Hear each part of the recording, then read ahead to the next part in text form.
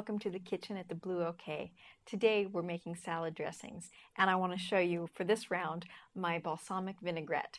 And actually I shouldn't call this my balsamic vinaigrette. I learned this from my friend Christy and she I, I changed it a little bit to make it to make it uh, raw to not use sugar. Her original recipe calls for a little bit of brown sugar or or uh, cane sugar, but I'm using maple syrup or you can use honey or agave nectar to make yours a little bit sweet. But I love this salad dressing because it uses five ingredients. I think it's five, five ingredients um, that are very well balanced. So you really get a lot of flavor, a very well balanced salad dressing.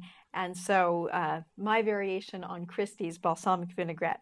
And what you do for that is take balsamic vinegar, got about a quarter cup of it there, put it in a bowl with a little bit of um, garlic and I should say, I think for her recipe, she puts it all in a jar and just shakes it. I like to whisk my, my dressings uh, personally, but a jar would work for the same purpose. I just don't like to blend them because it actually it pulverizes or, or kind of cremates the garlic and uh, combines differently than, um, than it does when you mix it, when you whisk it. So a little bit of stone ground mustard and a little bit of either maple or agave or honey, something to make it sweet. And this combination of flavors, when you add the olive oil to it, uh, is very well balanced and completely delicious. So you've got your garlic, your mustard, your balsamic vinegar in there, and you're just going to, and your sweetener, um, your maple syrup or your, your agave, your balsamic, mustard and garlic, and you're just going to slowly start to whisk in your olive oil. And what you're looking for is for it to combine. You don't want the olive oil sitting on top and the vinegar sitting on the bottom. So you're just whisking until it saponifies or combines. So you can keep slowly adding the olive oil as you start to see it come together. The rest of the olive oil. And it should be a, you know, deep, you know, deep brown color uh, from the balsamic vinegar. And some people don't care to use balsamic vinegar because um, it's a little it's heated in the process. It's not completely raw. And so I also want to show you a variation using apple cider vinegar, which is some people's preference in raw food because it actually has the um, the mother uh, enzyme in it so that when you when you take the balsamic vinegar or the apple cider vinegar it keeps going from the from the same mother culture and it gives you enzymes to digest the vinegar. So it's a, it's a living vinegar um, which is very nice to use in raw food.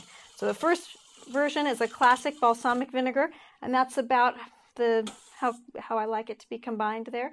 You can see they've they've come together the olive oil and the the vinegar and I'm just going to taste it to make sure everything's combined correctly and then I want to show you that variation too.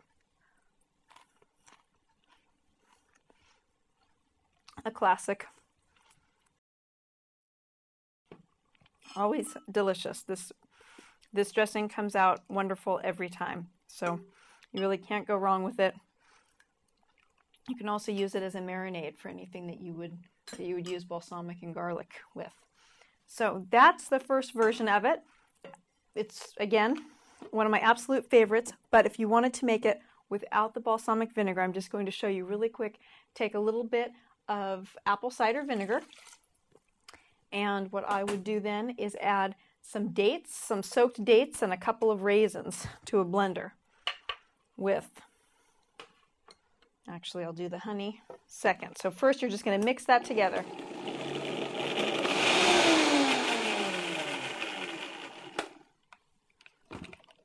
Okay, once you have your apple cider vinegar combined with the dates, you'll see it changes the consistency. It makes it a little bit thicker.